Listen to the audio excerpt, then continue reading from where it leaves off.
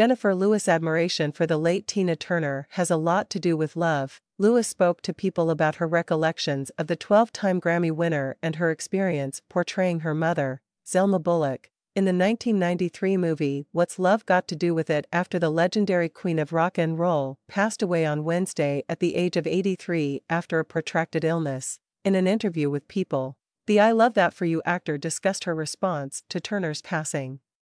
She said, I tried not to cry because I'm 66 and at some point, we all have to learn how to mourn and not fall apart. She was among the greatest entertainers to have ever lived, therefore I had to allow myself to cry. She says, I feel like a mother, a sister, a friend, a teacher, and I'm grateful to Tina for being who she was. I learned so much from her, including how to be sassy and move. When Lewis was touring the country with the musical Eubie in the 1980s, she attended one of Turner's concerts at a four star hotel in Toronto and was given the opportunity to speak with him backstage.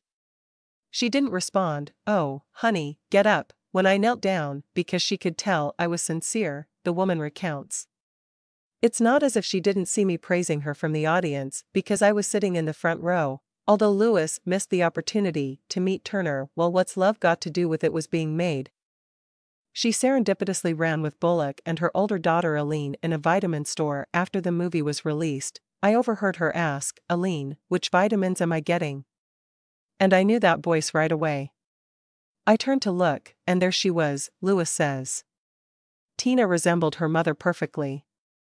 Even at her age, the tight physique and Tina like face were present, along with the legs. Bullock then extended a personal invitation to Lewis, which launched their close relationship. Alline called me when Zelma passed away, and I sang at her funeral, the woman claims.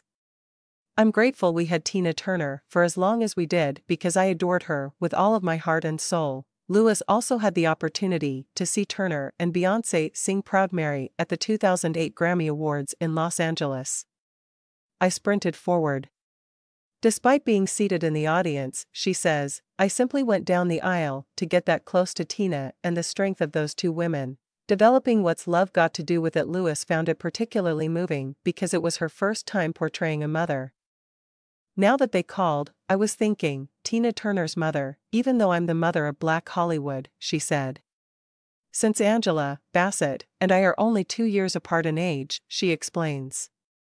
Of course, they reassured me about how young Tina's mother was when she had her. She goes on to say that so much of what I loved about Tina was how she showed us how to have the courage to walk away, continue to be our true selves, and rise above the bulls. Dot.